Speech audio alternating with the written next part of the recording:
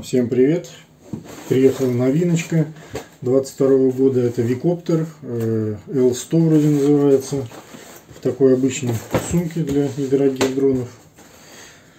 Значит, ну давайте пульт покажу. Пульт э, с дисплеем. Ну такой он хоть чем-то и покрыт таким приятным на ощупь. Но пульт, конечно, дешевый. Все, антенка одна муляж, одна живая. Телефон сверху крепится вот сюда тоже будет плохо держаться здесь. Очень узенькие вот эти поля. Ну, в общем, пульт дешевый. И что-то тут на экране уже непонятно. Какая-то высыпалась, какая-то грязь, что ли. Видно, не видно? Или это экран? А, это он. Такой дешевый экран, там кристаллы эти давятся, видимо. Вот, не знаю, видно, нет? Ну, короче, не суть. Викоптер. Аккумулятор. Вот так это выглядит. Ну, мне, как обычно, не повезло. С коробки он пришел, значит, один луч фиксируется. Все слышим, как щелчок, да? Защелкивается он. Второй просто болтается так, как угодно. Но он достаточно туго ходит. Поэтому, конечно, можно выставить его примерно. Значит, аккумулятор двухбаночный. Вот так выглядит все не очень. Здесь все внутренности видно.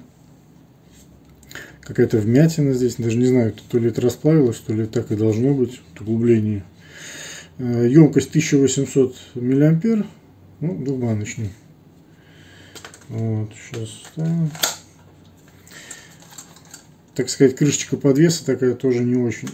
Во-первых, ее фиг снимешь отсюда, ну, вот эти защелки очень мощные, а сам подвес не, не фиксируется, он вот так ну, выпадает, в общем, оттуда.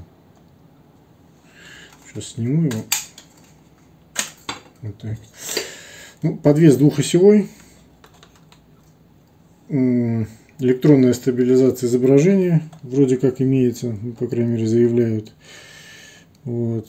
И камера 2,7К. Ну, наверное, все-таки обманывают. Да, запись есть на карту памяти, снизу есть оптическая стабилизация и светодиод. Ну и все, в принципе. Давайте включу. Нажимаем, держим. Вот так дрон включается. Все тут горит, мигает. Снизу сразу загорает светодиод. Там внутри что-то светится непонятное. Значит, Включаем пульт, все это соединяется. Ну, и как бы дальше идем. Ну, во-первых, тоже дрон чем-то покрыт, но видно, что все, в принципе, такое вот, ну, дешевый. Вот прям вот страшно тронуть, может отломиться. Вот слышите сейчас звук, это работает подвес так. Шуршит. Ну, это когда дешманский подвес работает, вот так часто бывает. Слышите, да? Ну, вроде он работает. Вот, скачиваем приложение. Вот здесь вот в инструкции есть QR-код. По нему скачиваем приложение, называется он VS GPS Pro, но оно у меня как бы есть, но я все равно его удалил и скачал вот это. Думаю, мало ли какие-то там обновления, еще что-то. А, что происходит? Я, правда, сейчас на телефон на это снимаю, поэтому не покажу. Ну, на, на слово поверьте. В приложение он заходит, э, но видео не транслирует, FPV нет. Хотя реагирует на нажатие видео, фото, там выскакивают все эти значки, что идет запись, да. А, ну, нет FPV трансляции. Подключается он посредством Wi-Fi. Дрон раздает Wi-Fi сеть, мы подключаемся к этому самому, к телефону, открываем приложение, ну и в общем FPV-шки нет.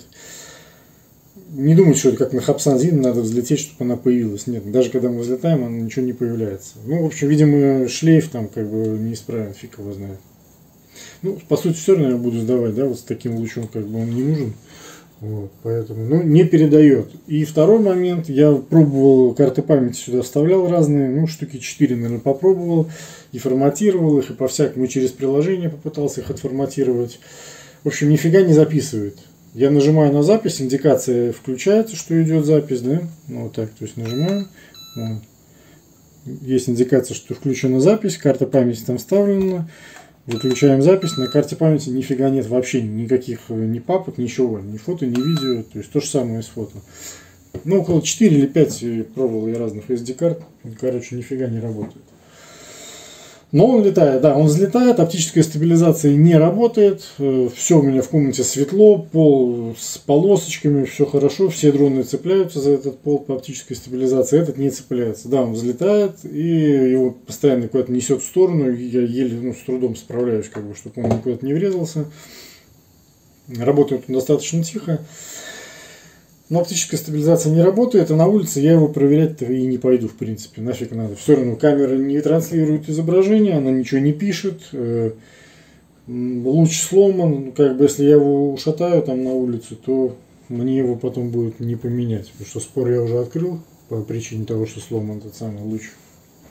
Давайте покажу вам просто, как он э, делает калибровку этих вот моторов и запускает винты, ну хоть что-то, да. То есть вот так вот его видно.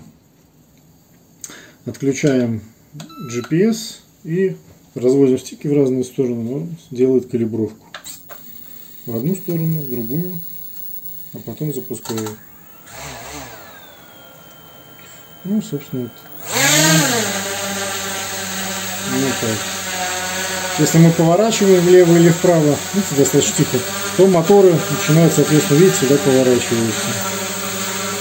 Вот, влево, например, вокруг своей оси теперь вправо. Вот моторы покрутятся.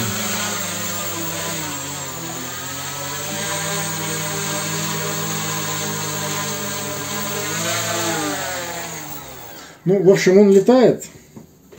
На улице я, конечно, не проверял и не буду, как он будет по GPS держать. Будет он унитазить, не будет, это непонятно. Заказывать еще один такой дрон, ну не знаю, вряд ли я буду. Он стоит 15 тысяч, но он не... Понятно, что камера не будет снимать 2,7К. Но не могу утверждать это, но вероятнее всего не будет. Думаю, что даже не будет как на F11S. Ну, ладно, будут еще обзоры, посмотрим. Но на вид все такое очень хлюпкое. Ну, не знаю. В общем, мне, как обычно, не повезло. Все, буду возвращаться. Спасибо за просмотр.